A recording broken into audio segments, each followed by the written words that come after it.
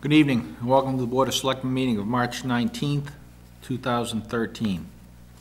We have a varied uh, agenda this evening, but the first agenda item is to finalize a ballot question for the upcoming May 2013 elections. And specifically, this has to do with uh, Park and Rec Commissioners. And they had requested the Board of Selectmen to draft a ballot question for the upcoming May election that had to do with the construction of new athletic fields at Caryl Park. The ballot question as written is non-binding for two specific reasons. One, the time constraints involved did not allow the process required to develop a binding question. And number two, more importantly, because this is the Board of Selectmen ballot question, by statute, it has to be non-binding. We cannot uh, um, advance and approve a binding ballot question. Now, that being said, I will read the proposed ballot question. Uh, Question number, I do not know the number, but this question is non-binding. Shall the Dover Park and Recreation Commission be advised to construct athletic fields at Caryl Park, provided such construction is funded only with donated monies and requires no funding from taxes or from the Park and Recreation Revolving Fund? End of question. Now, I will open it up to comments and questions. Carol? I I should say, we have Park and Rec Commissioners right uh, here, Rich Oasis, who's chair, Scott Seidman, Nancy Sims. Yes, Scott, do you have a question? So in your opening statement, you, you used the word new athletic fields, but yet in you. Question. Okay, yes, I'm- I stand corrected on that one, thank you. Yeah, I'll I'll go by what the ballot question says. Thank you, Scott, no. So I guess my question is, th- it's, it's this way, it's not new construction? Um, The ballot question I just read is what the, if we approve it this evening, is what will be on the ballot in May. Except that we will add S's after both uh, park, to make it Parks and Oh, Recreation. thank you. I don't, it's actually singular. In the bylaw, In the bylaw, it's Park and Recreation? Park and Recreation Commissioners. And the name of the fund actually is that also. Okay. Um, I- So I guess before we go to uh, questions and comments, um, Rich, did you want to say something, or one of the commissioners want to say something? Well, I guess we had a question, would it be possible to add new athletic fields at Caryl Park? Okay, that's a question, I don't know the answer to that just yet. Do you have any other questions or comments? Okay, I'll open the uh, questions, comments to Joe and Carol, please. So so I'd like to follow up on that. And, you know, one of, one of the, the questions that we've received, um, I'm sure we've all received phone calls and emails from citizens, as you two probably have as well, you three have, that, um, does this question, as written, prevent Park and Rec from doing anything with its athletic fields at Caryl Park? And is that why you want to add new? Yes, correct. versus renovating fields that you have, for instance? Correct, exactly. Where would you like to, um, So I'm that- sorry. So, so it would be, Where would they- be advised to construct new athletic fields, okay, right right? there? Yes. Okay, So let's, let's just pursue the definition of that. So let's say we added the new. Then this would be interpreted to not prevent you from changing any existing field to artificial turf, for instance. That would be correct. So whatever the footprint currently is of the fields that exist, you could do with what you wish. Is that, That would be correct, and yes. is that the way we all view yes, adding that I- word? yeah. I- I, I see that.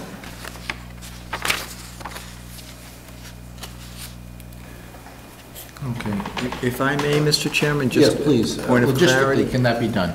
Certainly, it's, you you can, you can revise the ballot question. Okay. I don't know whether the Park and Rec Commission had previously voted as a board in one of its meetings to approve specific language or not. But The other question I had, for clarity, would additional instead of new be a better word to use? Uh, Let's go back to the Park and Rec on that. Have you voted in a previous meeting? I know you've seen this particular ballot question, and you voted originally um, on it. Um, Have you taken any other action before this evening to change the wording on this? We have not. We have not, we've not been doing that. Okay. Um, That being said, Dave, can they still come before us to- this evening and, and, and and ask for something and then go back and make a proact, uh, um, retroactive vote? I, th- I think they could. Okay. Okay, so uh, I do like um, Dave's suggestion on additional on new, so but we really have to clear that up this evening before we leave, obviously. Now, that being said, um, Carol, do you have further questions before we ask the big question? I go, I, I, my, I'm still on jet lag, so I need my mind to sort of percolate on this a little bit, so go ahead, I'm a little slow tonight. Go Okay. ahead. I know, uh, I've sat in your meetings, and I know I have presented uh, the question to you guys as a whole. Will you be bound by the results of this ballot question? And Nancy, you were kind enough last night to speak at the open hearing in the warrant committee, and you said it, but um, are you speaking, uh, and I'll ask Mr. Oasis, who's chairman, are you speaking on behalf of the whole committee? I am. And you have taken a vote at your meeting, and it was unanimous, It was. and you will be bound by the non-binding ballot question. We will. Thank you. Mr. Chairman, Yes, Joe? in, the state statute, is there a minimum number of days the finalized wording has to be in place before the election? That's a good question for Mr. Ramsey. There is a deadline for presenting the ballot questions. April 1st to April the uh, 1st. town clerk. Okay. The deadline is set by But since this is November our here. Last scheduled meeting prior to April 1st, I wanted to clear that up No, this actually, evening. no, we have. It's one next week, I believe. Twenty-eight. I should really look at the calendar now and then. No, it's just unusual. It really was, thank you.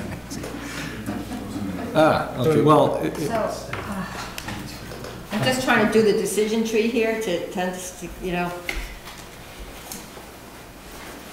So,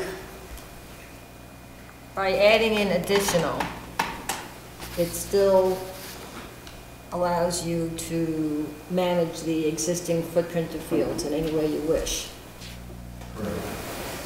And it allows us to address the needs of our constituents.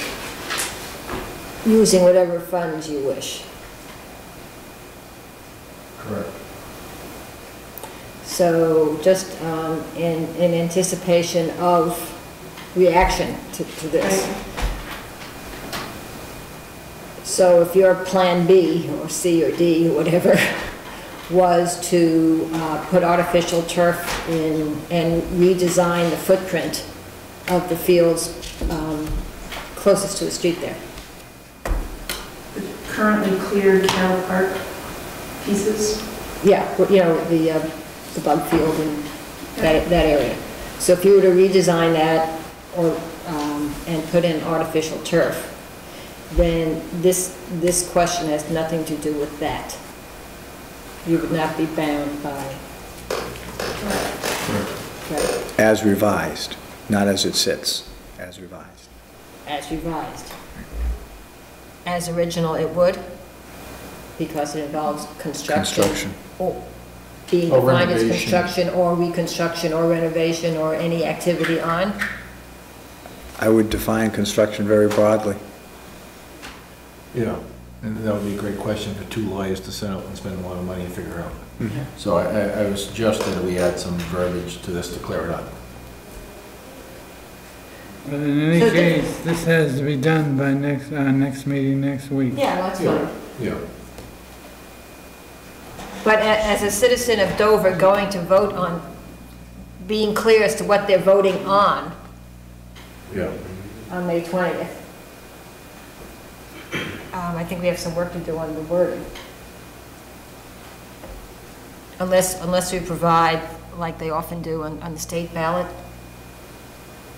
You know, a discussion of the ballot question? Can't, We can't? I thought we can do that. We can't. no, by, I mean, to be honest with you, it presents, I mean, aside from the reason behind us wanting to put um, additional fields there, if we were, for instance, to want to change the bug field to a softball field, and that would involve constructing a new dugout, a new pitching mound, this would preclude that from happening.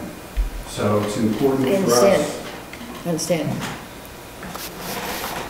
But if we can't provide an, if we cannot provide an explanation in the, on the ballot itself, then we need to make sure that the wording very distinctly makes it clear what, Yes. Um, A question for all of you, if I might, Mr. Chairman. Yes, Rich. Um, How long would this be in effect for? In other words, 10 years from now, would it preclude, whatever the question is, if we agree as a commission that this is binding, forever and ever? I would think until the very last opponent of this project dies off, it'll be binding. And I hate to say it that way, but this will be around for a while. Okay. I I don't know if there's a technicality involved there, Dave. well, it's- it's legally speaking, non-binding. Yeah. So we don't have the Ah. kind of concerns that we have with the citizens petition potentially. This is, a this is really a matter of intent uh, that the Park and Rec Commission is, is agreeing to be bound by, so it's, It's only the present park and rec commissioners that's making the binding promise. well, then, then, then this, then this doesn't come close to addressing the intent, if that's the case. Then, then this becomes almost meaningless. If all this does is say that the current five commissioners are bound by this for the two weeks before the com- commission changes because of an election, Well, you could interpret in, in additional two ways. One, that as long as one of the existing five commissioners is on the commission, that it's, they're bound by it. Or that the existing five commissioners are binding the legal commission entity regardless of the members that are on that commission. So I guess where I was coming from is if, in fact, you would like and think this should be binding, Carol, until any of the neighbors, unfortunately, would, until the last one is gone, I think that would be important to let townspeople know that by voting for this, we could put then, I don't know, 70 years, 80 years, that there will be oh. no, wh- whatever oh, time. No, period- I, well, I understand, but we had to put this in the context of the only reason we're- why we're in this mess in the first place, having to wordsmith this thing, Yeah. okay? And then we have the citizens petition, okay, which in a way is philosophically related to this question, Sure. right? So we need to, we need to address, we need to word the question in a way that addresses the concerns of a good number of citizens of Dover. Would it be a prudent use of the um, board's time for us to defer this discussion to your next meeting? And we can work on something um, without taking up your time? Um, I appreciate that question, but I would like to continue the discussion so everyone's on the same ballpark on, on the issues. And um, what I wasn't just happy to hear is the comment on, so it's only this binding, morally binding decision is just pertain to the five existing commissioners. That, that's very tough to hear. Yeah, I No think one's gonna be I happy think it was about a that. question as to whether, I don't think any of us, No, I- I- you know, perception aside, that I'm sure no one's gonna be happy to hear that, and that'll stick in everyone's mind. I don't think that there's a moral issue here. I think the three of us were coming at it from a legal perspective. Yeah, no, it- I think all five of us are of the impression that it's something that will, I mean, it- it's not a personal. it's no, I use the entity. word morally uh, um, binding, for lack of a better uh, uh, term, because it is a non-binding ballot question, but you guys are gonna be bound by it, your own personal standards, quite honestly. Is that a moral obligation? Absolutely, Okay, that's all I meant. right, no, Well, absolutely. Perhaps what we should do is, when, when this thing gets reworded, which obviously it's going to Yeah, be, that we specifically say that this that, um, you know, whether it's shall the current, shall the, the current and future Dover Park and Rec Commission, you know, something that extends it out and makes it the commission as a government entity versus the individuals, versus the commissioners. How about if there was a time limit on it? I was just gonna ask, I mean, rather than putting it on the commissioners or the commissioners forever and ever, we could agree as a commission for a period of time not to do those. But that would still probably, What kind, what time frame were you thinking of? Um, Somewhere between our term limits and when the last neighbor would die. I I said it facetiously, He but. said facetiously because I, I don't think. Because the, but, but, but, the, um, I'm surprised no, none of the abutters and, and those folks are here tonight, though I know some of them are probably watching us on, on cable, so I'm really surprised that they didn't show up to this, but they will say, my property value is impacted by the potential of developing the area as, as your C-Park plan is. So, Positively or negatively? negatively. One could argue positively. I understand that, but I'm, yeah, this is what they're going to say. We heard last night that litigation is, is to- totally viable and everything else. Um, So that's what they're gonna say, and they're gonna say therefore, even if the last one were to die and the estate were to go to sell the property, the value, right? The value of the, of the property is going to be less because of the open end. So you get into that, so you're being facetious and that's appropriate. Let's not continue on that because it, it's a serious issue as to, as to the timeframe of it. I mean, I, I don't believe that, the- that the folks that have, um, put together the citizens petition, which has a huge negative impact on the town, okay? Um, or the folks that might be, um, assuaged by, by some kind of ballot question that's, that's binding, okay? Are looking at, okay, I don't have to worry about it for ten years, or fifteen years, or twenty years. But on the other hand, I don't think it's fair to the Park and Rec Department, the Park and Rec Commission, and all of the uh, families of athletes and players that we are serving to subjugate their interests and their safety um, because of the semantics of the question.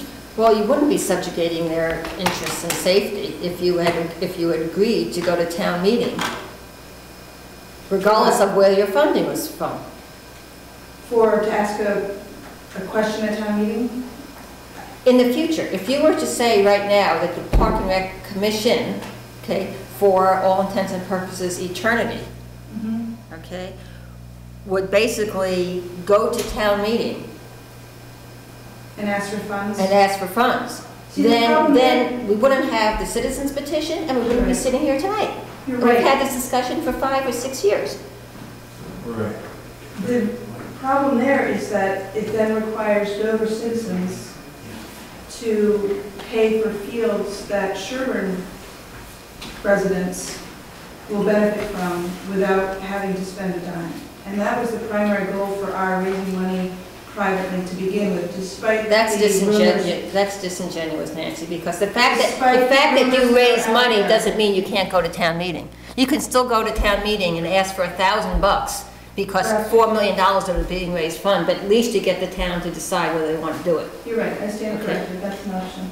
Thank you. Mr. Chairman, should common council be, uh, come up with some ideas? uh, town counsel, David, correct me if I'm wrong, has uh, viewed this already? And if he was fine with the language as written? Now, additional ideas, I don't know to that, though. I mean, he took a a stab at this based on a, a general sense of context. Right. Um, Any of these types of questions here, he, he, he couldn't add any value to the intent of the parties here. They would have to make those intentions clear. Well, before we meet next, because obviously we're not going to come to the determination on this particular matter this evening, um, we're going to get our, have to get our hands around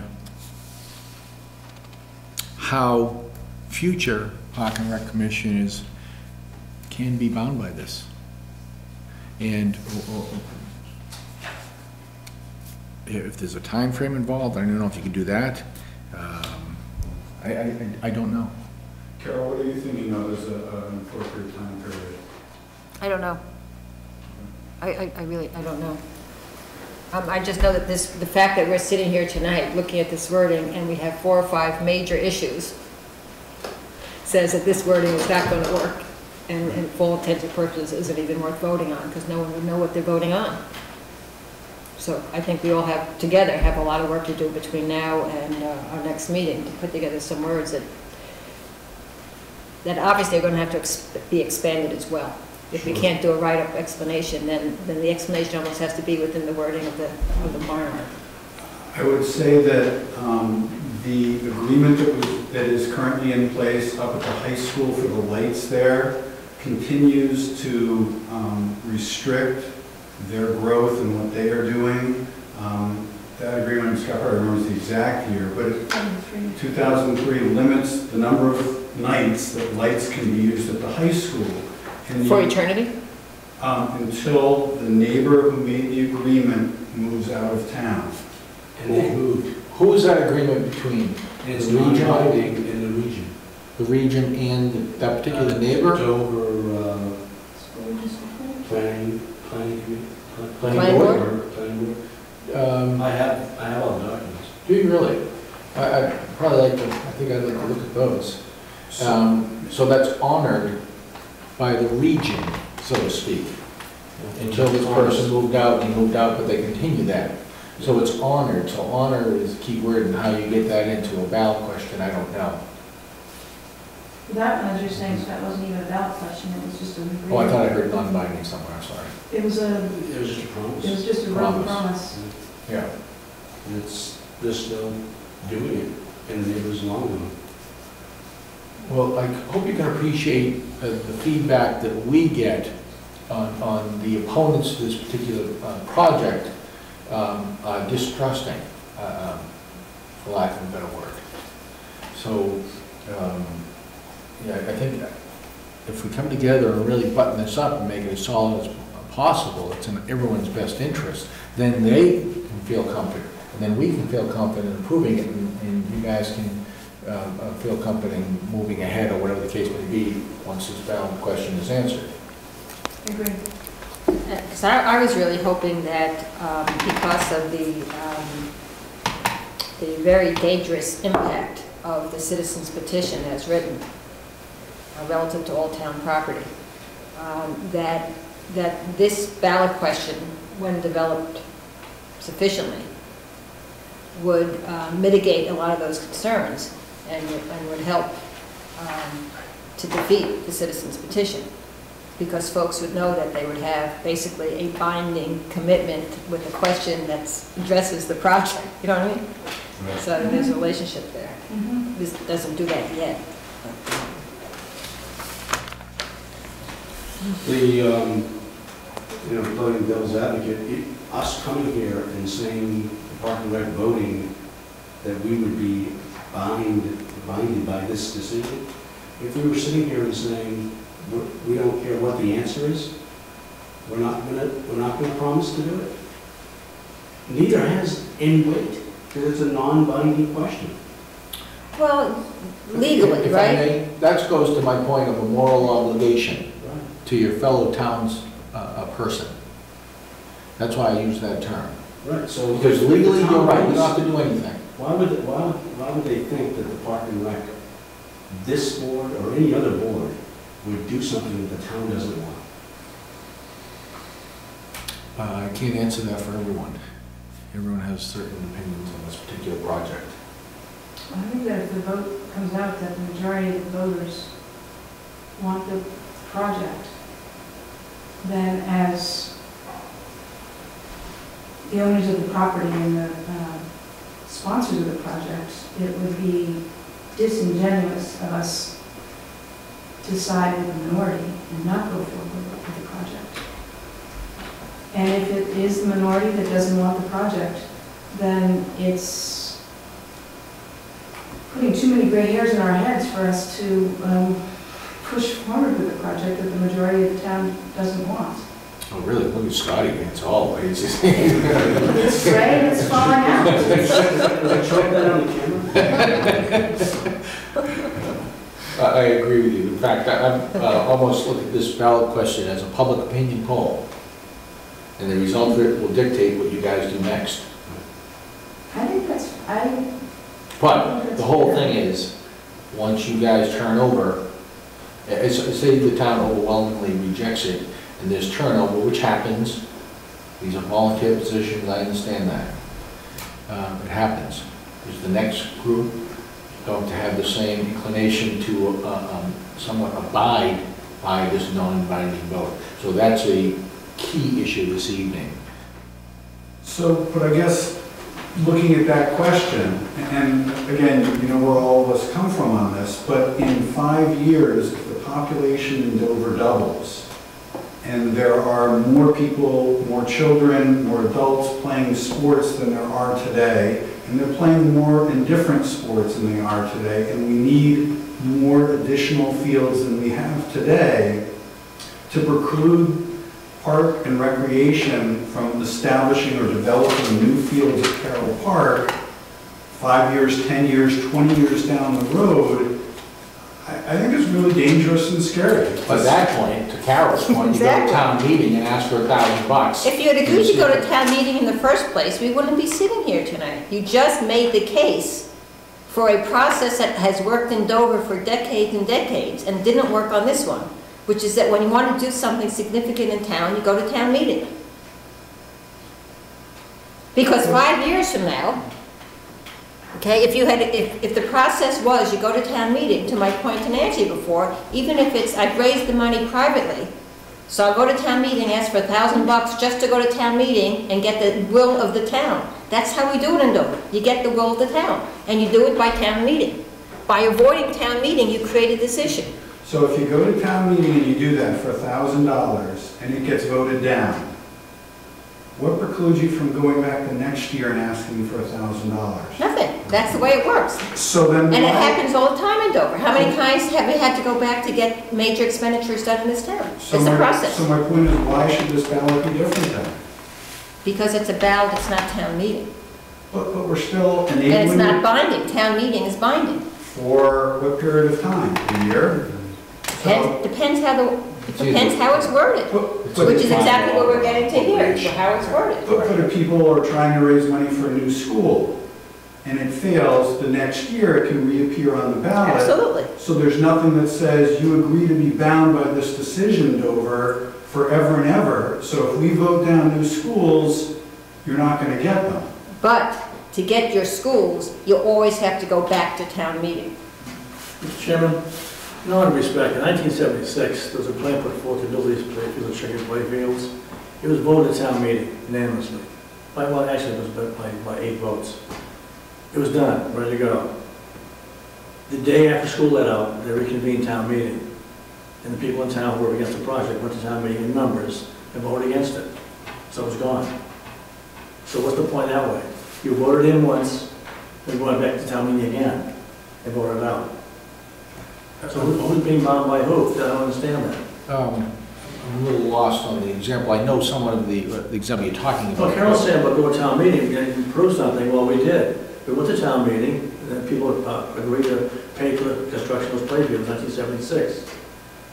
And then within, within almost a month and a half, petitions by citizens reconvened town meeting, and they voted it out after that. There was a special town meeting after the Yes, fact? it was, right. I'm not Well, privy to those. I'm I'm not either, that was before I was here certainly, but, um, but you know what? That's the process in Dover. And sometimes it's a messy process. And that's probably an example of a messy process. It's, a- it's, it's an example of why the town moderator always says to folks in the beginning of, of the town meeting, do not leave because, you know, within a half an hour of a, of a warrant article, it could be requested for a revote. It's the same thing, but that's the process. That's how Dover is governed. And we sort of, we work with the process that we have. And the process is town meeting. Yeah, and the frustration is duly noted. Um, Because even as frustrating as for you in that example, it's a great example. uh, um, you know, we're dealt with uh, hands too, that are very frustrating. We have to go through the processes, but we have to go through the processes to get to uh, an end game. But it's duly noted how frustrating this, some of this can be. Mr. Chairman, Yes, Joe? other than the school issue at a town meeting, the town is lucky to get three hundred voting people at a town meeting. Town elections, you get two hundred people out of four thousand. Uh, say that's right? Yeah. Two hundred people are gonna decide what the town wants, because other people don't wanna come, don't bother. You know, and that, that is an absolute shame. But, but at the same time, okay, folks that live in Dover know that this is the way we're governed. Right. And they can make the decision whether they want to spend three hours a year on the first Monday of May, every single year, to make themselves known. And if they don't, then that's their decision. We can only do what the pro- democratic process allows. The democratic process says every citizen of Dover has the right to spend three to four hours once a year to vote on issues before the town. If they choose not to do that, that's their decision. We don't have mandatory voting. I think the day-long election day is logistically significantly easier for parents with children, two-income parents. Having been there, done that, I know you say it's three hours a day, a year, one day, but it's, I know, I know. it's, you're gonna get more people, opinions of a broader, broader cross-section of the town at an election day question than you are a town meeting day question. Okay. Well, this has been a very healthy debate, certainly. Um, Let's get our hands on um, what this ballot question should include. And our next meeting is March 28th, is that correct? It is. Um, So we'll take it up again on March 28th. Thank you. Do you have any final comments before? uh, I, I just, I do have a Oh, please, couple of please. questions, if I may. Um, so are you going to, um, convene the meeting and talk about this and get something to us before the 28th? Yes. Yes. Okay. When is your next scheduled meeting? Next meeting is April 5th. We've set up a special meeting for um, maybe this Friday. Okay. Uh, too late. Uh, yeah, maybe we'll do it Monday. Okay, so you will uh, set a special meeting, good, thank you Okay, for to get that. us something on that, okay. And, and- and just a, a- a sort of a, a- an unrelated question to the specific wording at hand, at hand is that, um, I know that you have, um, a planning board meeting that's been continued to sometime in early April, um, and that there was some traffic study stuff and some wetland stuff that come up in the previous meetings. Are you proceeding with that, that kind of activity, or have you sort of put everything on hold waiting for the town election? Um, We're proceeding, so the, the key piece for us is the wetlands survey, which needs to be presented to the Conservation Commission. And with the snow cover, it's been a little bit tough, and we received an email today from Conservation asking us if we could wait until April 24th. So as of today, our plan is probably to present to them the wetlands survey on the 24th of April. And we would then schedule for the planning board sometime around then um, to go through the traffic. I mean, we're trying to do the two sort of side by side. Obviously, for the planning board, they need to know what the, the final layout is going to be and the final design, which is somewhat dependent on how things go with conservation.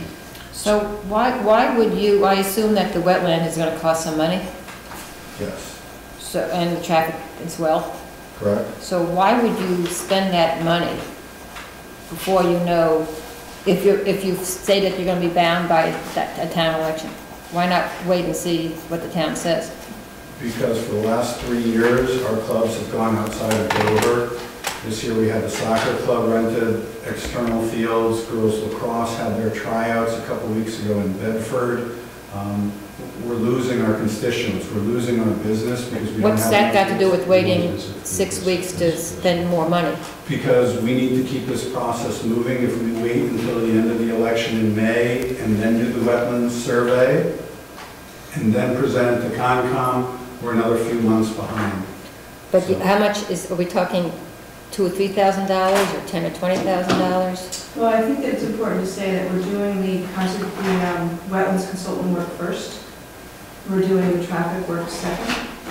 And we're taking it very conservatively, step by step. How much is the Um, wetlands consultant costing? Uh, we Just approved a fee not to exceed 13500 at our last meeting.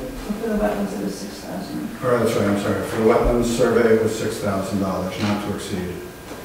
And the rationale behind moving forward, and we did talk at our meeting about the delaying it until after the um, May 20th uh, election, was that if we need to make improvements to the existing fields that we have, the, either the two soft, uh, baseball fields, um, or the soft baseball field that's near the tennis courts, or the rectangular fields between the two baseball fields, or the tot lot even, that it would be helpful to have um, a extremely professional uh, wetland survey done. So do you have a plan, so, because there's a time limit on the, on the validity of a wetlands plan. I believe it's Three three years, Yeah. you can extend it for um, one-year increments up to Okay, three so- times, so it's up to six years. Okay. Six years?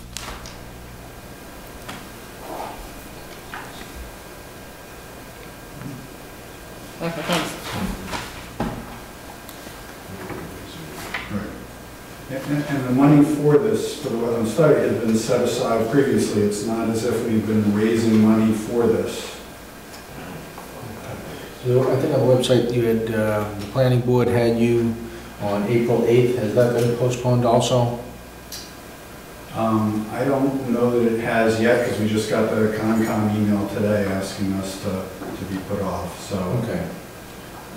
If You guys would please just follow up on that one, so a lot of people follow this.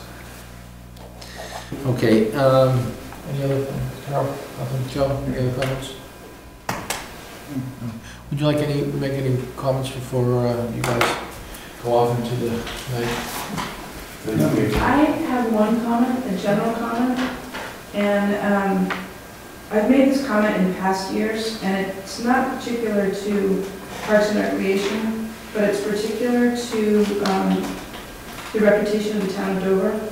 And I grew up in Vermont where town meetings were the norm, so it's something I'm familiar with and I cherish it. I think it's a wonderful way to run um, the government of a town. I have been distressed in the last 12 months with some of the personality, some of the venom, I guess, that I've seen in public meetings. Um, Some of it's been addressed to me personally, some of it's been addressed to the commission, and it's not so much that I'm, I'm not objecting to the attacks on me as a person, but I asked the selectmen, I asked the warrant committee, I asked the uh, capital budget committee to try and convey the importance of um, behaving civilly to and with each other. And it's been distressing to me to have my fellow Dover citizens um, be less than polite and cordial to each other. I hear you loud and clear, Nancy, I share that concern greatly. I, I- I would, I would add that there's a meeting going on right now downstairs of the rail trail committee, and we as committee members have been called liars publicly and so forth and so on, so I get it, absolutely. Thank you. Thank you very much. Thanks for coming in. Thank you, thanks for your time.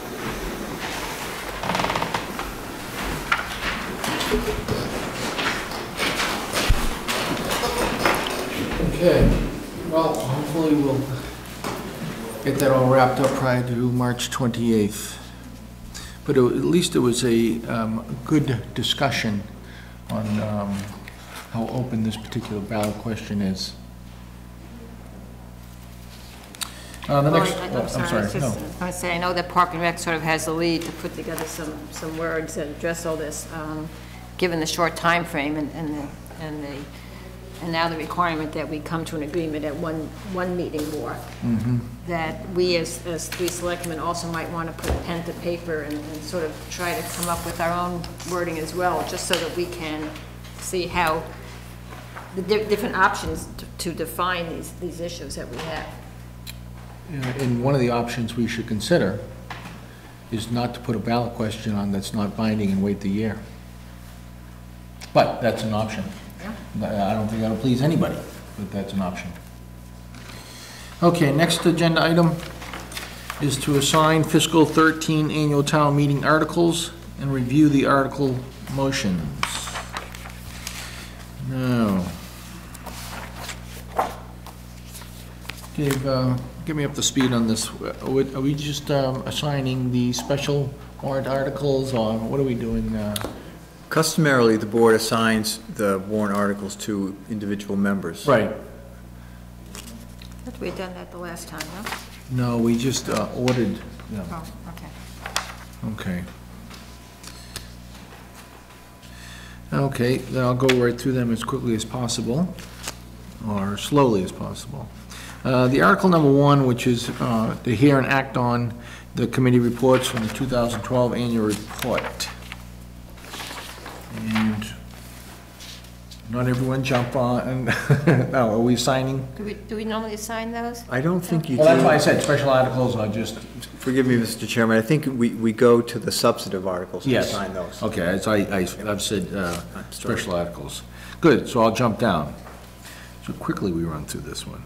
Uh, So we don't have to, four and five, obviously, co- we- oh, Excuse me, covered. are we approving, the? are we looking at, are we going to look at the articles separately? You're gonna look at the motion separately. Motion the- separately, the- okay. The So right now we're rough just applying draft. okay. Yep. Okay. Thank you. Okay, we'll assign first. Um, So we'll start with um, uh, 11, planning board, or Right, because 10, 10 is being withdrawn, 10 will be right? withdrawn. So we'll start with 11, the planning board, and they want to amend part of the bylaw to add one associate member to their board. Um, Okay. And uh, if no one else puts their hand up, I, I- I'll take that. Okay, number 12, citizens petition uh, which would require a bylaw change requiring town meeting approval for any substantial changes to town-owned property, regardless of funding sources. Oh, I think you jumped into that last My feet are still wet. night. You you know, I I actually want to do a better job than what I did at the open hearing last night, so I definitely will take that, thank you. Uh, DS Regional School borrowing for the installation of the HVAC system at the middle school. Um, I- You know, I, um, well, let me put it this way, I'd like to do 17 and 18, obviously 17, because I'm on the rail trail committee, and, I was and the condition. so. Okay, so Joe will take 13. Okay. which is the HVAC. Thank you, Joe.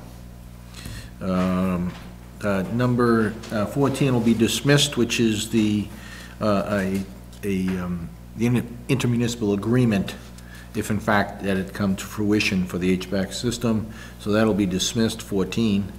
Uh, 15 is the DS Regional School borrowings to pay costs, and I believe, and don't hold me this, $122,000, which was at the open hearing last evening. Um, So, Joe, would you like that one also? Yeah. Thank you. Um, uh, 16 will be dismissed, which again is the intergov- intergovernmental agreement, which would have paid for the items I just spoke of, but they're going to bond them, or that that is their intention if get- they get approved. Okay, 17 and 18, 17 is the rail trail feasibility, Carol. Uh, 18 is the medical medical marijuana dispensary and cultivation moratorium. Um, And Carol, like that. And the rest of them are boilerplate, um, as I read quickly. 118, the state's preliminary guidelines are out the 29th 29th of March. March, are they? I thought it was gonna be May for some reason, but they would have sped that up. That's good. Okay, those are the pertinent um, warrant articles, and we have assigned those. Now, you want us to review each article, Dave? Uh, Customarily, you review the motions. This is the first draft, so they're not complete. Okay. So take a quick look and see if there's any comments that anyone has with what is in front of them. Okay, um, is it customary for me to read the, well, she- okay, thank you. Take a few minutes and. Okay. We can speed along to the more pertinent ones, I imagine. So I have question Article 5. um, The numbers that are here, so the numbers that are are listed on page 8 and 9 for the various items.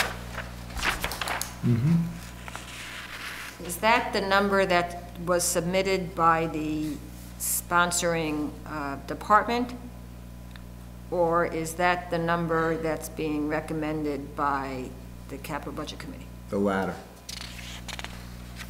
because the capital budget committee um, has voted um, on um, 5A not to recommend that. Okay. Yeah, I, I remember actually, Mr. Assetti mentioned that in his comments last evening. He put a zero beside it. Yes. And um, just quickly,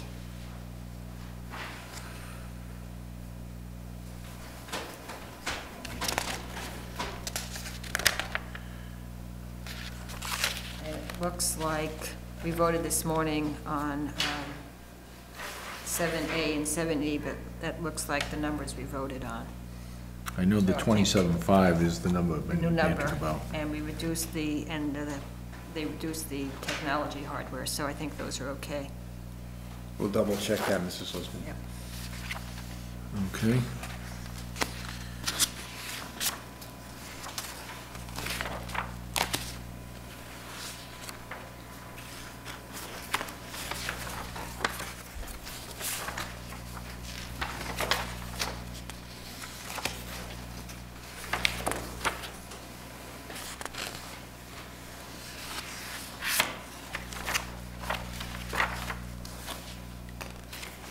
None of the revolving accounts in Article nine have changed, have they? I don't believe they No, have. they have not. Thank you.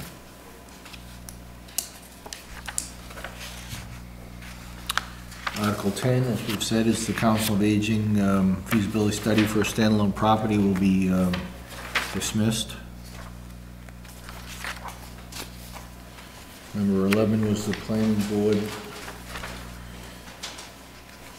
And a bylaw change to add a uh, associate member, thank you. So last night, I'll get to Article 12 here. Um, So last night Barbara Palmer mentioned that, that they would be uh, making a motion to amend on the floor. Yeah, she mentioned one, uh, uh, the number going from 50,000 to 150,000. I, I believe she was trying to appease me, was her comment. And she was going to specify that it's only relevant to Parkland, Correct. right? Are those, is that legal? Mr. Bott and I had a conversation to that effect at 4 o'clock this afternoon, Mrs. Lisbon, but you already know that because we think the same way. And he's going to ponder the question. The preliminary indication is yes, because it's less restrictive than the original intent, but he wants to think about it a little, a little bit. Uh, It would normally be a very simple answer because our articles always have or take any other action relative thereto, but this is a petition. and- And we just take their language and we run with it. But he still thinks that probably it would be okay to make those amendments. But he will get back to me on that. And would it, hit- would it be his recommendation then that he, should we suggest to him that, given, given Barbara's comments, that, that, that he, that he word the amendment so that we know that it will be legally standing when they present it on the from the floor? You will prepare for that contingency. And then we'll contact Barbara and talk about that, okay? You know, something like this, it's a shame the Attorney General does- uh, hasn't and doesn't taken a proactive role in reviewing um, some of these questionable um, bylaw changes. Not questionable, but ones that, uh, uh, um, well, I guess questionable is the uh, proper term. I think they would be overwhelmed by hypotheticals. And of course, it's worse for us because, as um, Mr. Bott's legal opinion opined, this will not be a bylaw, so it won't even get retrospective review by AG's office. This is a vote of the town. How would, it- how would it be enacted into law then? That is one of the sticky wickets if this thing is approved. It, it really complicates things um, because it isn't a bylaw. Every time I read this, I get more confused. So practically speaking, I think we may brought this up when we first got this, practically speaking, its implementation, since it's not a law, and it won't be reviewed by the AG's office, any of the, um, as currently written, anything, anything property owners, park, school, cemetery, selectmen, could choose to challenge this in court? Uh, Depending upon the circumstances, any board that has jurisdiction otherwise could decide to proceed irrespective of this vote. And then it would be up to somebody else to then decide to challenge it based on this. And as uh, Mr. Bott said in his opinion, this is a recipe for litigation. There are no cases, uh, so it's, it's, it's it's a great um, stick Mischief for maker. anybody to wield. Yes, tremendous mischief maker. Okay. That was 12. 13, which is the DS region seeking borrowing authority for the HVAC uh, system the middle school. 14, I mentioned will be dismissed. Uh, 15 is the DS region seeking approximately $122,000 via uh, um, debt to pay for capital improvements and equipment. 16 will be dismissed, which is regarding the same issue. It would have been paid out of free cash. Okay, 17, rail trail. I think I've heard something about this. And, uh, We have to make sure we get a quorum, you know? Yes, yes, so that'll be for uh, good debate. So the town is, uh, y- y- the rail trail, or the selectmen, I should say, are seeking $50,000 and, uh, to further the study of the feasibility before the rail trail committee can uh, give us an opinion on what to do. Uh, 18 is the medical marijuana treatments.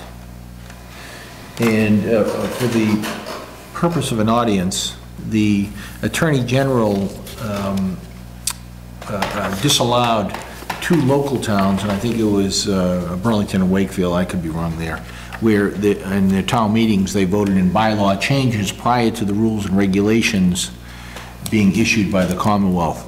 So the Attorney General, and I paraphrase, disallowed uh, prohibition until such time as the rules and regulations are in place, but she did allow, and her staff obviously, allow moratoriums. So I believe our wording in, in our warrant article uh, allows for moratorium. So that Does it, um, does it give a, a length, oh, you answered that question yesterday. Okay, length of Th- time. This motion actually does contemplate an expiration July 30, 2014, assuming that the regulations come out, as Mr. Melican indicated, on time and zoning efforts Right. uh, cooperate with that. This could be amended next year if the time needed to be elongated, but Now, how come that date isn't in the article itself? Or am I missing that? Well, it's in because- the, it's in the motion now, right? yeah, it's in the motion on, 28. Yep. The very end of 28. Oh, oh, thank you. Oh, thank you, I didn't see that.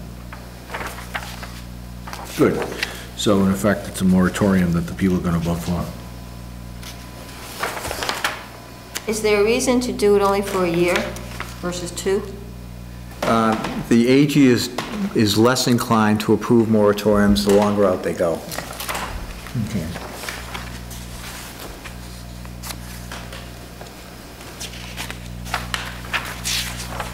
Uh, 19, and I believe we're into boilerplate um, warrant articles going forward, reserve fund, unpaid bills prior years, supplemental appropriations, free cash, the final free cash transfer, which will be calculated at the town meeting.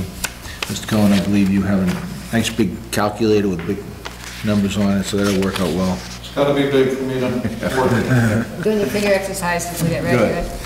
But uh, that is our quick review of the articles and motions for the annual town meeting 2013. And I imagine we'll we'll discuss these in, uh, further next meeting. Thank you. Okay. Um, The next agenda item is, going- we're going to discuss the Council on Aging's request for use of space at the Caryl Community Center. And this ties into the warrant article that they have asked to be dismissed. They originally had asked the um, Board of Selectmen and to have a warrant article asking for $15,000 for a feasibility study for a standalone building, new building that they wanted. Um, But, come to find out that the uh, Council Aging met in a series of meetings and voted to ask the board to use um, space, existing space at the Caryl Community Center, whereby they consolidate their programs and offices into one um, particular area.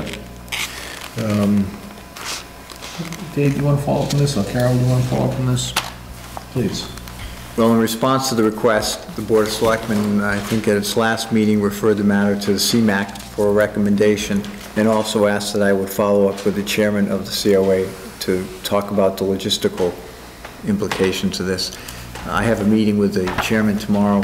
CMAC, at its meeting last week, uh, voted to recommend to the selectmen that they grant the use of the space of the so-called art room, the storage room on either end, on either side of the art room, as well as the continued use of the blue room at the Caryl Community Center, um, at the space to be let to them as is. This is good. Yeah, with the understanding that the space utilized downstairs is coming back into inventory, or how is that going to work? That isn't clear, it's one of the questions I have. I believe that's the intention, but I want to talk with the chairman about that. I believe they intend to move all of their operation across the street. And time-wise, what's the intention there? That's a a detail that would depend upon our ability to move them and their willingness to accept the space as is. Okay, well, I think it's a very positive move. Gives them the ability to prove their, um, uh, um, the numbers that they've been quoting uh, to us directly, as far as the number of people utilizing the uh, um, COA and its programs. Um, Please, Carol. And it, and it provides them with, uh, being in a building that not only do they have more space of their own, but they're now, uh, abutting the gym, you know, abutting the library, so there's, there's tremendous amount of space now within the same building envelope that's available to them should they want to expand their programming. Yeah, good. And, you know, and I, I think the as-is, you know, we've spent a lot of money on, on on redoing the art room, and I think Carl did a wonderful job on that. And, um, uh, I had informally, uh, met with uh, their subcommittee um, at their request, and, um, we have a process in town for improving space when individuals need improved space. So, you know, if they move in as is, and they find that there are specific needs, then we have a budgetary process for capital budget requests. We have building maintenance, bud, operating budgets for non-capital dollars, and we would just work together to, to, to meet the needs as we would with the library or any other building. That's correct. Good, thank you. Joe, any comments on the COA? I think it's the right move. Yes, I concur. Okay, now, do we formally have to accept this, Dave, or? Have to make a decision to let them use the space. Okay, Carol, would you like to make that motion? So I move that we designate the, um, the art room, including the three interior spaces, and the two storage rooms contiguous to the art room, which obviously will now need to be renamed, uh, for use by Council on Aging as is. Second. All in favor? Aye. Thank you. You haven't done the director yet, have you? Um, No, we haven't. Make sure Carl takes a hold on that. Uh, Next on the agenda is the discuss the rail trail gift fund. And um, Carol, do you want to speak to that, or Dave wants to speak to that? I need to read the memo first, Ah, okay. if I may.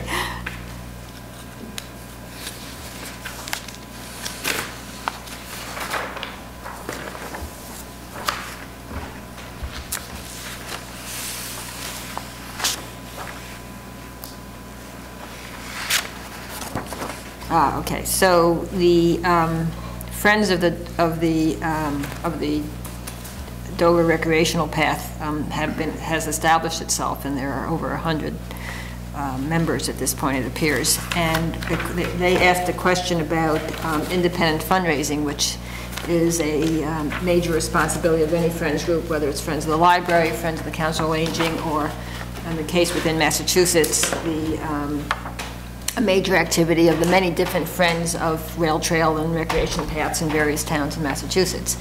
And to do that, they would have to go through a 501c3 process, um, which is time-consuming um, um, and costs some money. And um, they would be doing that um, anticipating that the feasibility study would recommend a rail trail conversion, and anticipating that town meeting would, would so vote. Um, Neither neither of those um, anticipations are, uh, are firm at this point, and that's why we need another year to study it. So their question was, how, without having to go through that process, how could they accept any funds um, to be used for, um, for various activities? So the question was whether they could use something within the town government to do that. And um, that's what Jerry's um, response is. Yes. I guess similar to how the cemetery was going to use the same process should people fund the, uh, the water feature that the cemetery commissioners had, had been promoting, right? Same thing. You have a little bit more detail in it than theirs does, but Yes. Yep. same idea.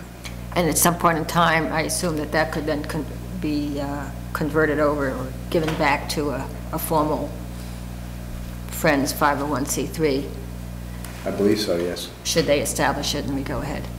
Okay. So, um, just look at the second paragraph here.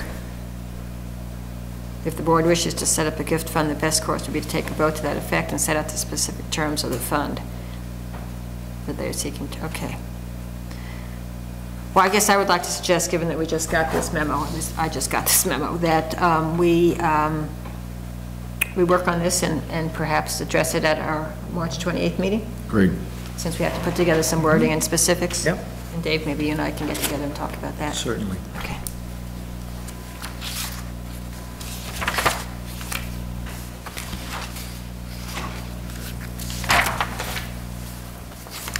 Okay, on to the next agenda item, which is the execute the special state primary warrant.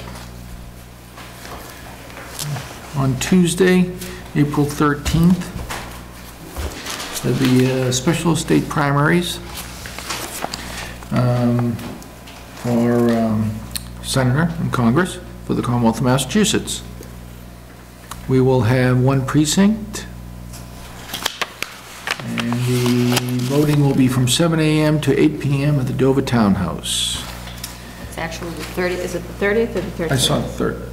Is that Is it April 30th? April 30th. 30th? Thank you. I stand corrected. Once again, Carol, thank you for correcting me. 30th of April. I No. can't think tonight, but No, uh, uh, my eyes are working. No, the 30th of April, so. um, Do I hear a motion to execute the special state primary So warrant? moved. Second. All in favor? Aye, thank you. All three of the same. So that looked like the 13th. Okay. Okay, I'll get them on the way back. Okay,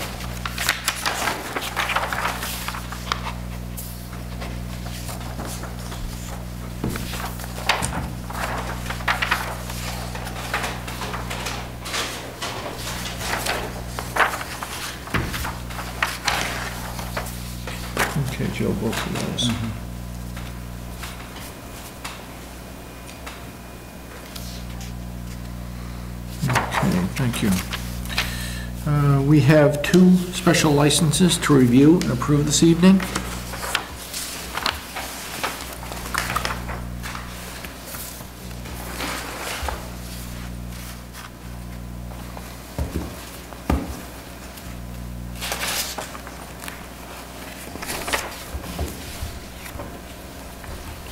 Okay, set? We have two uh, special licenses to approve. The first is April uh, 6th, 2013, at um, Elm Bank. And that's the Hardy School, and the chief has signed that, very good. The Second is April 27th at Elm Bank, also a wedding, and the chief has authorized that one. Uh, I'll make the motion to uh, approve both special licenses. Second. All in favor? Aye. Great, thank you. Thank you, Joe.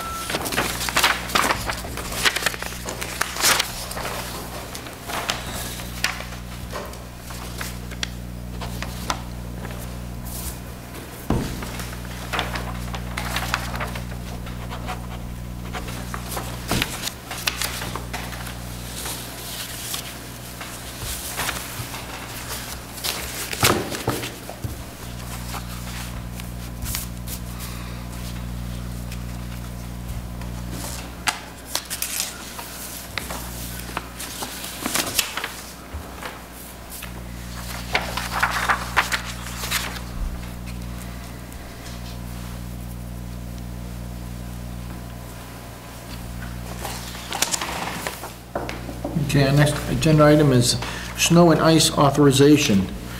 And um, just imagine, last year was, I think it was 74 degrees today, and today it wasn't. And uh, again, I commend Mr. Hughes and his crew for doing an excellent job. So, Mr. Ramsey, if you will walk us through this one. Uh, As of this memo, he was down to about a $9,000 balance, and uh, And that was prior to today, or including, uh, um, e- estimating today's um, damages, so to speak? before today's damages. Okay. And I think we saw him, when did this come in? Was, did it come in? The end of the day yesterday. Yeah. He was kind of hoping. Yeah, hope for the best. Well, tomorrow's spring, That's right. so let's look forward to that. Okay, I'll I'll make the motion, so the totals, uh, we got, uh, 265, 315, this will bring us up to 365 then? Right, am I reading that correctly? Uh, three- oh, 465, 465. Right? Oh, original budget plus 175? Right. Yes. Yep. Okay. Wow, how times changed from last year to this year. Wasn't that long ago, Mr. Chairman, that Craig and I were talking about maybe we'll return surplus of snow and ice for the second time in memory. Yeah. Not to be. Does anyone have any comments or questions on this snow and ice authorization? Well spent. It is money well spent, Joe. So I'll make the motion uh, for an additional $50,000 in the snow and ice budget. Second. All in favor? Aye. Aye. Good job.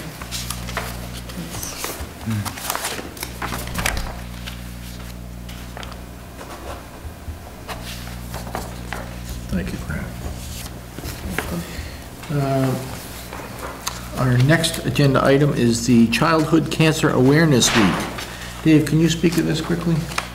Uh, We have received a request for the Board of Selectmen to issue a proclamation recognizing Childhood Cancer Awareness Week in Dover from April 21st through 27th, 2013.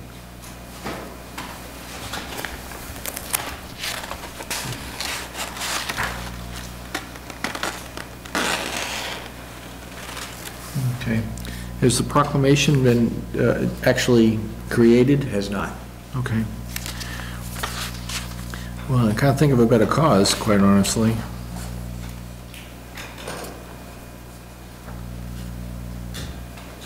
So the um, suggested text that's on the bottom of this email, We would put that into a proclamation format for them.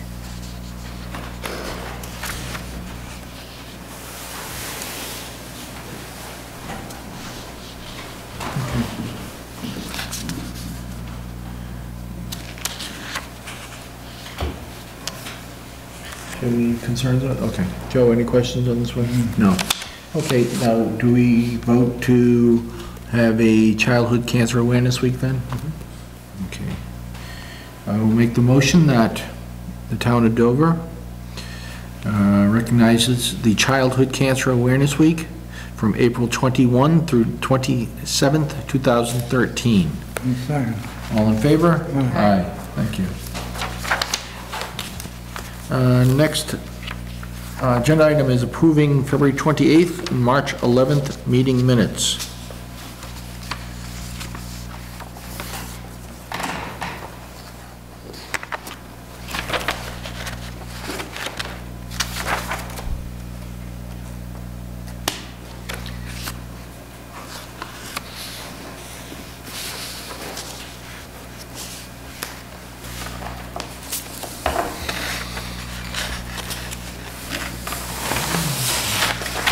I move we approve the minutes of February 28th as submitted. Second. Joe, you weren't, can Joe vote on this? He was not in attendance then? He can, Can, thank you. certainly can. Thank you, Joe. I just want to make sure we're correcting all this. Uh, All in favor? Aye. Thank you.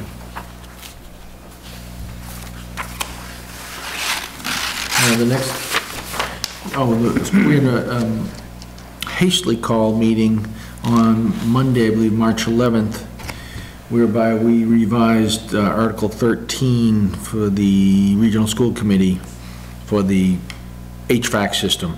We had been um, told it was 800,000, and we were informed after the fact that they changed it to 853, so we voted to put that correct amount into warrant Article 13.